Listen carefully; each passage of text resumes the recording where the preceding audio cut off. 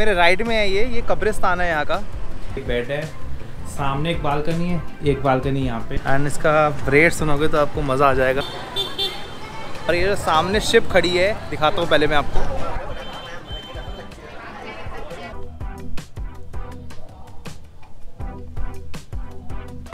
The this the we call in Vietnamese. That अब पुल cross करते हैं देखते हैं क्या है उस साइड पे जाके।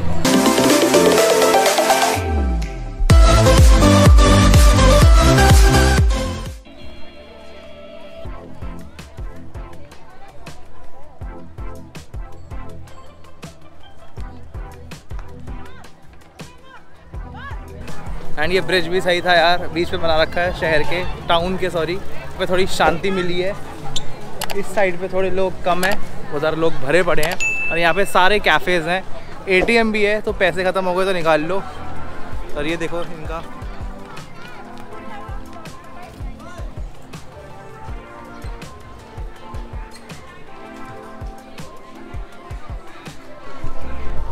सो यहाँ पे फुट मसाज भी होती है। करानी है करा लेना। अगर पैरों में दर्द हो रहा है तो करा लो सही है।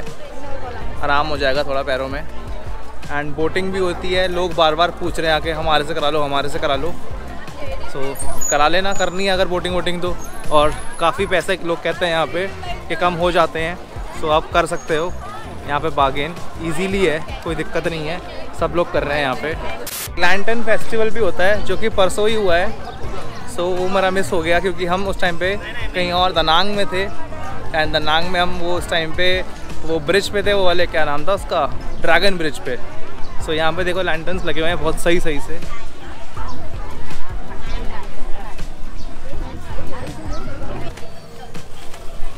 सो so, ये दनांग के नाइट मार्केट की तरह लग रहा है और ये फ्रूट्स देख लो। सो so, कटे हुए फ्रूट्स भी मिलते हैं यहाँ पे। अपने एक ग्लास लो और खा लो। सही पेट भर जाएगा। एंड पूरी है वहीं की दनांग की नाइट मार्केट लग रही है।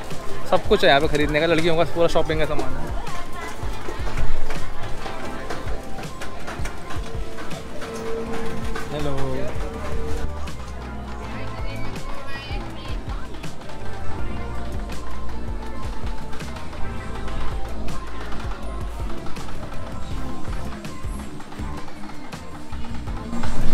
सो so, अभी पीछे जो हमने ड्रेसेस ली थी उस शॉप से वो यहाँ भी लगी हुई है। प्राइस देखते हैं। हमारा बेवकूफ़ तो नहीं बन गया कभी। नो बार्गेनिंग वाली शॉप थी और वहाँ पे हमको एक ड्रेस एक लाख की पड़ी है और यहाँ पे दो बीस की दे रहे हैं। सो so, भाई डबल से भी ज़्यादा और अब डेढ़ पे आ गई।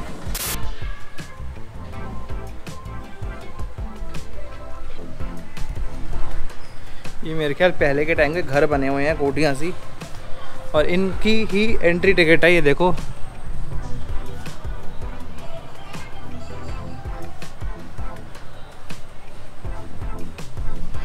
सो इनकी एंट्री टिकट है, जो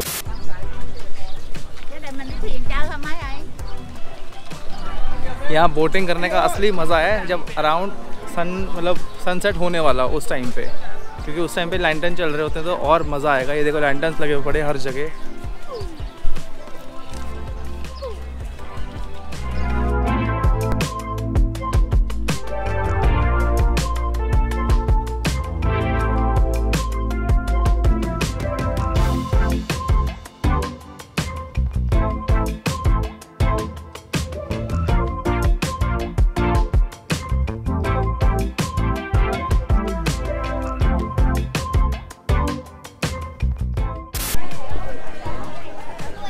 सो सॉफ्ट कितना बड़ा कुत्ता है भाई। ये शायद भाई हस्की वस्की है कोई। शायद जो मुझे पता नहीं ऐसे कुत्तों के बारे में ज़्यादा डॉग्स के बारे में। तो बड़ा सही था यार। और बड़े सॉफ्ट इसके होते फर। हाँ चुपचाप चल रहा है बेचारा। कुछ नहीं कह रहा किसी को। एंड ये सामने है यहाँ का जापनीज ब्रिज जितना मुझे पता है ये देखो आप एक बारी।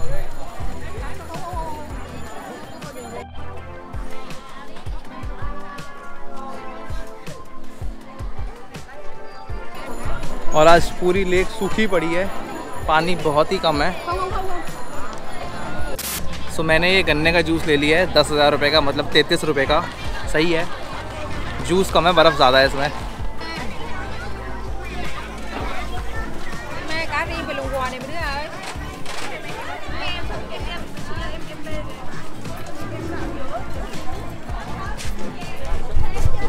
वो सारे नॉन वेज वाले आइटम थे अब वेज वालों को दिखाता हूँ।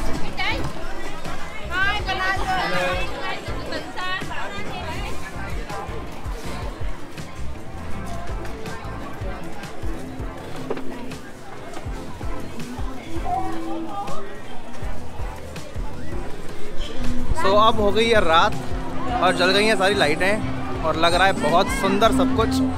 भाई साहब शाम को जब आए थे हम तब स्टार्ट हो रहा था धीरे धीरे यहाँ पे भीड़ होनी। अब पूरी भीड़ पूरी पीक पे है और लाइटें बहुत सही लग रही हैं। मैं दिख नहीं रहा हूँ मुझे पता है कैमरे में क्योंकि गोप्रो का थोड़ा नाइट वाला सीन ख़राब है। रात को इसको कम दिखता है। बाकी बहुत सुंदर लग रहा है यार बहुत सुंदर।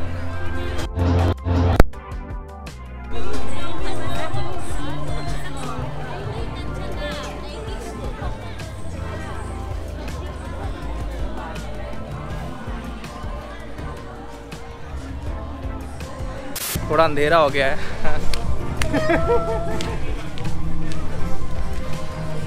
तो थोड़ा अंधेरा हो गया तो फ्लैश का यूज़ करना पड़ रहा है। सो so, सामने एक शो हो रहा है उसको देखने जा रहे हैं और देखते हैं क्या हो कह रहा है। गानों की आवाज़ तो आ रही है। अब देखते हैं चल के क्या हो रहा है यहाँ पे।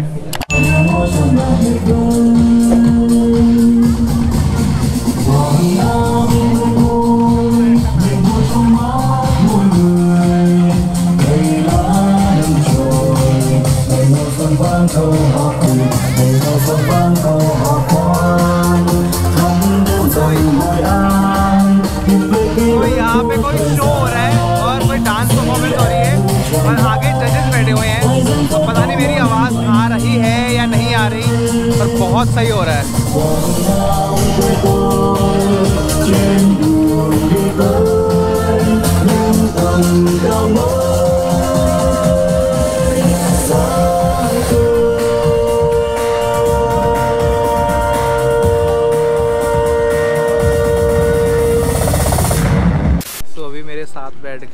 यहाँ पे वो चल रहा है अपना, जो अपने इंडिया में बैन हो चुका है टिकटॉक भाई साहब, बहुत देर से कर रही हैं प्रैक्टिस ये। भाई साहब, इसमें भी पूरी प्रैक्टिस चाहिए होती है। सही है यार।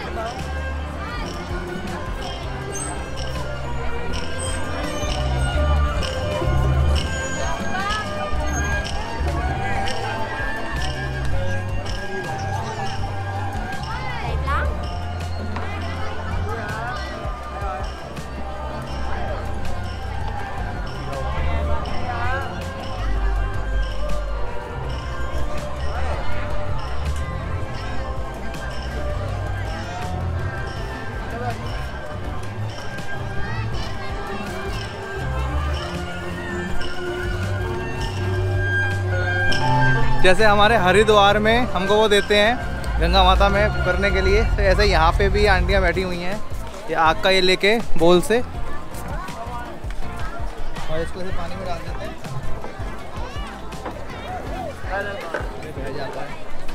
सो ये अपने हरिद्वार वाला सीन हो रखा है यहाँ पे। Ơi là cái giặc học trò là cái giặc học trò học trò có chữ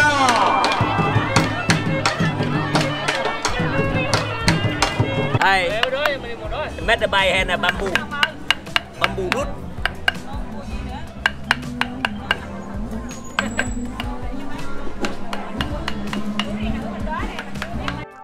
यहाँ बैठे हैं ये ठोक ठोक के अपने उससे जो भी होता है वो चाकू सा और हथौड़ा उससे भाई साहब एक बैम्बू स्टिक पे शक्लें बना रहे हैं भाई साहब एक नंबर मज़ा आ गया देख के बहुत सही मतलब अलग अलग कारीगर बैठे हुए हैं दुनिया के हर कोने में बहुत सही है। For 125 right and this is for 125 125 चलो।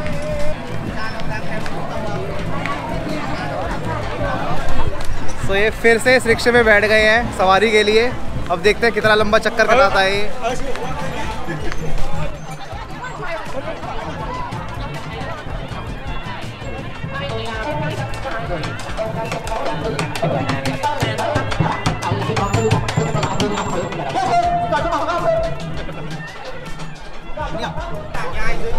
सो इस रिक्शे में बैठ गए फिर से। इसने लिए हैं चार सौ रुपये एक बंदे के पंद्रह मिनट की राइड है तो दो रिक्शे करे हमने। क्योंकि मम्मी भी कह रही है बहुत टाइम से मन करा रहा था इनका इस रिक्शे में बैठने का। ये देखो भैया पीछे बैठे हैं। ये है मम्मी का रिक्शा।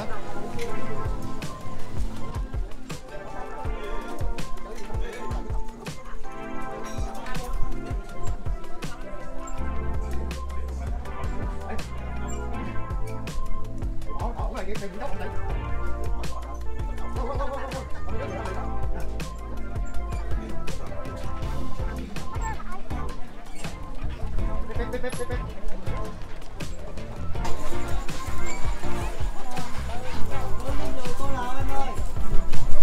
सही है यार, ये एक्सपीरियंस और मैंने लाइट लगा ली अपने गोप्रो वाली। अच्छा है यार, मज़ा आ रहा है। चार सौ रुपये में राइड मिल रही है पूरे उसकी सही है भाई।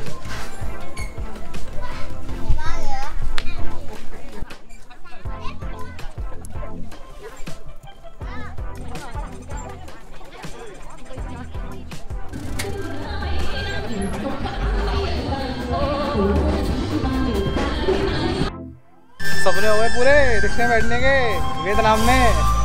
चार सौ रुपये का रिक्शा इधर से जाना है।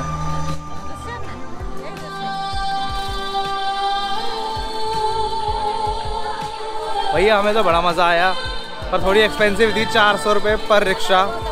हमने दो ले लिए, क्योंकि आराम से बैठो नहीं तो पिच पिच के कौन बैठेगा भाई? हम बैठ भी नहीं पाते दो लोग एक रिक्शे में। एंड प्लीज़ वीडियो को लाइक करना चैनल को सब्सक्राइब करना और प्रमोट कर दो मेरे चैनल को। कर दो यार। अच्छे से व्यूज़ और सब्सक्राइबर चाहिए। सो so, ये है गणेश इंडियन रेस्टोरेंट जो कि मेरे ख्याल इस एरिया में एक ही रेस्टोरेंट है। सो so, इसके अंदर चलते हैं और खाना ऑर्डर करते हैं और फिर देखते हैं कैसा है खाना।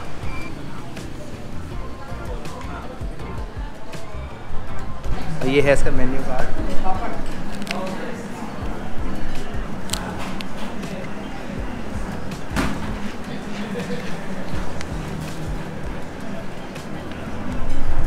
बाकी मेरे ख्याल इस एरिया में एक ही है। सो अगर आप भैया ना रहे हो तो यहाँ पे खाना खा लो, कोई दिक्कत नहीं है। सही है। बहुत काफ़ी इसके रिव्यूज़ अच्छे पड़े हैं मैंने। मुझे एक फ्रेंड ने भी बोला था, यहाँ पे अगर आओगे तो यही खाना खाना। तो खाना ऑर्डर करते हैं अपना वही है नॉर्थ इंडियन और खा के फिर बताते हैं कैसा लगा। ये हमारा ही होना चाहिए ऐसे हमारा ही। है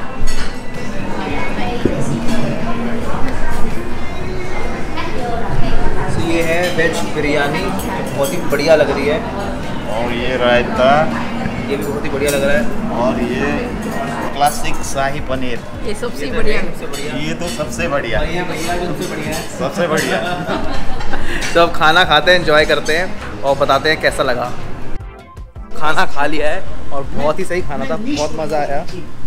अब जा रहे हैं होटल सोएँगे और आपसे मिलेंगे कल सुबह। तब तक के लिए good night take care and मज़े करो।